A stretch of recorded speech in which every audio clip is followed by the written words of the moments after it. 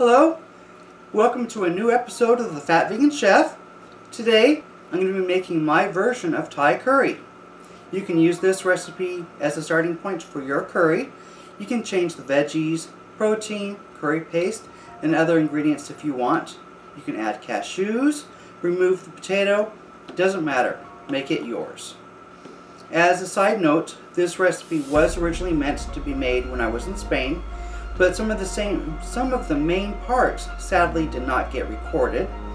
You will see a guest appearance by my friend that I visited while I was there. Be sure to say hi to her. I will be editing in some of the footage that was recorded, so the continuity may be off just a bit. You can get the recipe at thefatveganchef.com. If you like this recipe and what we do, please share it with your friends and family on your favorite social media sites and donate a dollar or two at tfvc.org forward slash donate.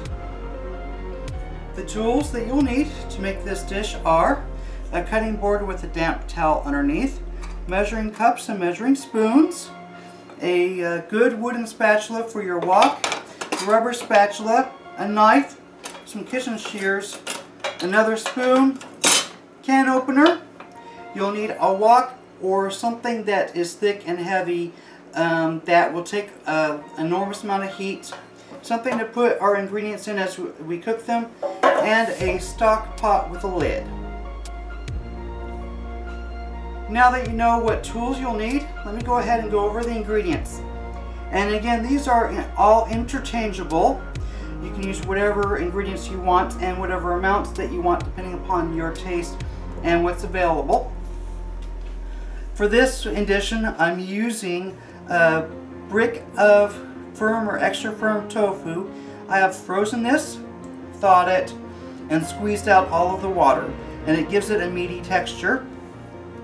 This is some frozen Asian vegetables that I bought at the grocery store.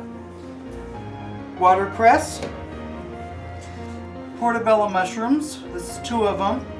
Shiitake mushrooms, this is about five or six a couple of Japanese eggplant, a uh, package of snow peas. This is three red potatoes that I have boiled and diced. Now for the uh, flavoring, I have about a teaspoon of red pepper flakes, a teaspoon of grains of paradise, a tablespoon of Szechuan peppercorns, this is a couple tablespoons of garlic, a tablespoon of ground ginger, and a couple of tablespoons of toasted sesame oil and red chili oil. And you'll probably need a little bit more of this as we uh, go through and saute the vegetables. And this is two cups of jasmine rice that I've soaked for 20 minutes. And then what I'm going to do with this is I am going to put it in four cups of water, or four cups of water, bring it to a boil. Once it's up to a boil, I'm going to take the heat down to a simmer and let it sit in that water for 20 minutes. And you can also use basmati rice. Jasmine and basmati rice give a really good flavor. So now that we've got the ingredients, let's go ahead and talk about the sauce. I also wanted to mention to you that it's very important to get all of your ingredients gathered and prepped first because this cooks really fast. You're going to cook the ingredients on a really high heat and you don't really have time to prep the vegetables in between. Alright, let's go ahead and talk about the sauce. This is a curry paste and I happen to be using Penang curry paste. You can use Massaman or whatever you want. However, it's very important that you read the ingredients because a lot of the curry paste do put in fish sauce. This brand happen to, happens to be May Anong, May Anong, and it does not have any fish sauce in it. So read the ingredients. This is just a can of coconut milk, or you can use coconut cream, crunchy peanut butter, a couple tablespoons of soy sauce. This is a tablespoon of mushroom soy sauce. This is a tablespoon of rooster sauce, a teaspoon of chili paste. This is a tablespoon of vegetarian or vegan fish sauce. You can either make your own or you can also find this at the Asian markets. This is the one that I happened to pick up. It is, I can't pronounce the name, but that's what the bottle looks like and it is vegetarian fish sauce. It's made out of fermented soybeans and seaweed. So if you want to make your own, I suppose we can do is take some water, some fermented soybean paste, and some uh, seaweed and let that sit for a couple weeks in your refrigerator and you'll probably have a pretty close approximation to fish sauce. I think really all you need is the seaweed. And then I'm going to finish this off with some um, julienne basil. I'm going to throw this in towards the end when I put in the rest of the ingredients to let it cook. Uh, so that way it doesn't overcook the uh, basil. And so let's go ahead and get the sauce ready. First thing I like to do is I like to put in the ingredients that are hard to mix in first. So that's the peanut butter, and that is the uh, curry paste. And then I'll put in the soy sauce and the mushroom sauce and the fish sauce. And then I'll just kind of start to break this up until it comes into a paste and I'll make a mess in the process. Hello everybody, welcome to a new episode of the fatveganchef.com and today we present Jared Peacock, the chef, preparing a new recipe in my kitchen in Alicante, Spain. What part of Alicante, Spain? Moraira. Beautiful Moraira.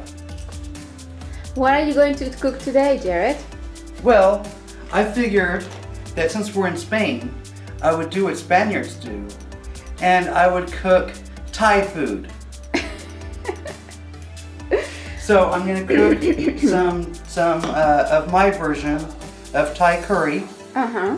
And right now I'm just preparing the vegetables to get ready to saute. Mm-hmm. I've got the rice going already. Okay. Uh, I've got some tofu that I've frozen and I've thawed.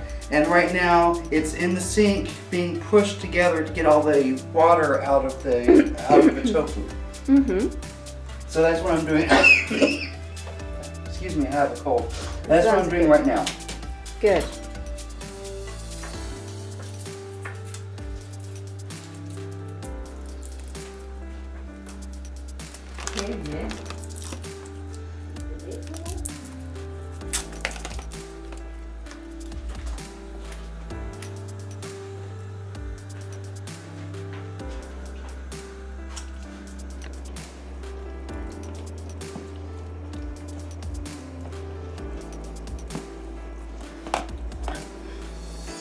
Add in our chili sauce,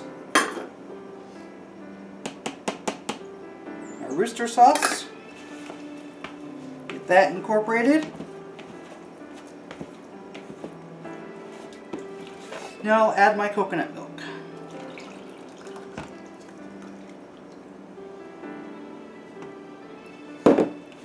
And get this mixed in well.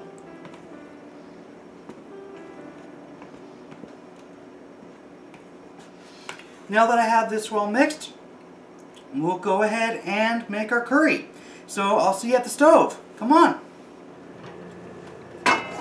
Alright, I've got my wok on my stove.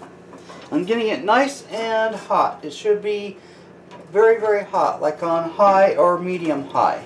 We want to get this um, to where it's like almost smoking like it is now.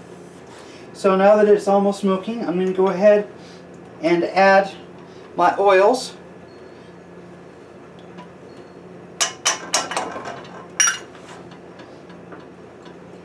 I'm going to add my tofu.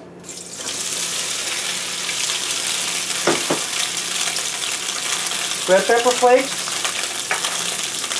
Szechuan peppercorns, and green paradise.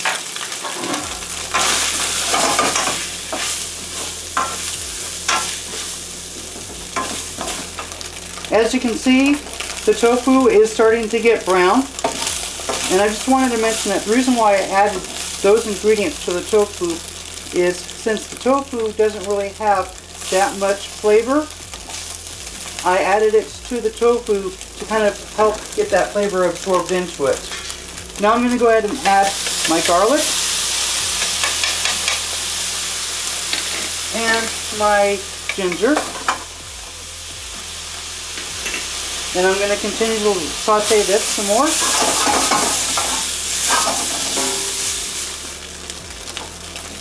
The tofu is pretty much done now.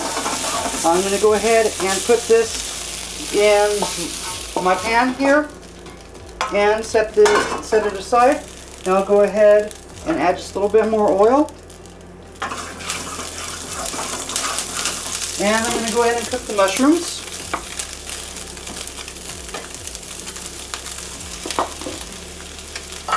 And the eggplant. You don't want to put too many, you want to kind of do this just a little bit at a time. You don't want too many vegetables in there at once. So you want to actually wok this. We'll go ahead and cook these. And we're going to repeat this until all the rest of the vegetables are cooked.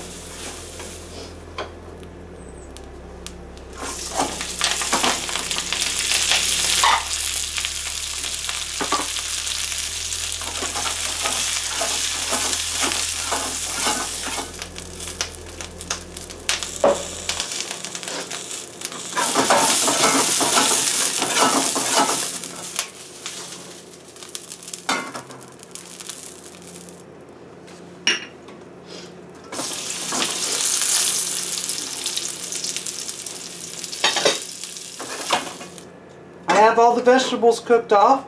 Now I'm going to go ahead and cook the sauce. This is the sauce that we made earlier. And I'm going to bring this up to a boil. Our sauce is now boiling. One thing that I forgot to mention as far as ingredients go is we do need to thicken the sauce a bit and this is a mixture of cornstarch and water and what you, and you want to use cold water for this and what you'll do is you'll slowly add in your cornstarch mixture until it becomes a thickened sauce.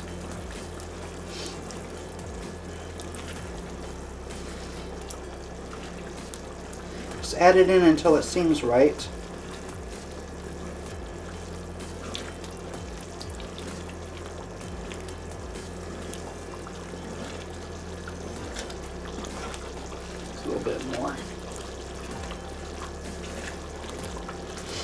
And this happened to be one tablespoon of cornstarch. That's looking good. Alright, it's boiling And you may want to adjust your heat down a bit once it does start boiling and thickening up. So now we'll go ahead and add our vegetables and our protein into the sauce.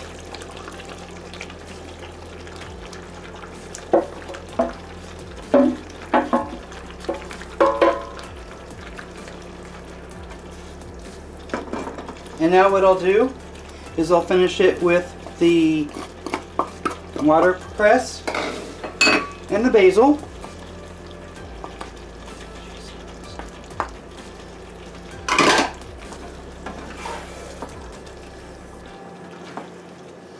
Give that a good stir. And now I'll go ahead and plate. So I'll see you back over at the counter. We've got our curry made. We've got our rice ready. Let's go ahead and get this plated. And you can either serve this on top or beside. And that way people can adjust how much rice they want with their curry.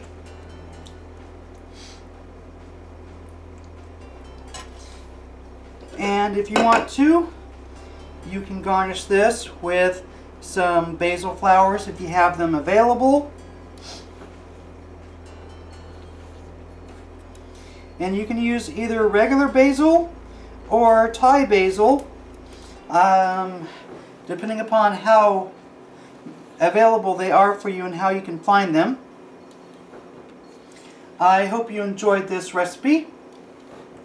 You can find this recipe and more at thefatveganchef.com. I hope that cutting between this and my friend and I making it in Spain didn't confuse you too much. Please consider donating to me to help me go keep going at tfvc.org forward slash donate. You can find us at your favorite social media site by searching for The Fat Vegan Chef. Go ahead and find us and follow us and share us with your friends and family. And I hope you have a great day. Well, well, well, look what we have there. Mmm, looks very good and tastes very good too.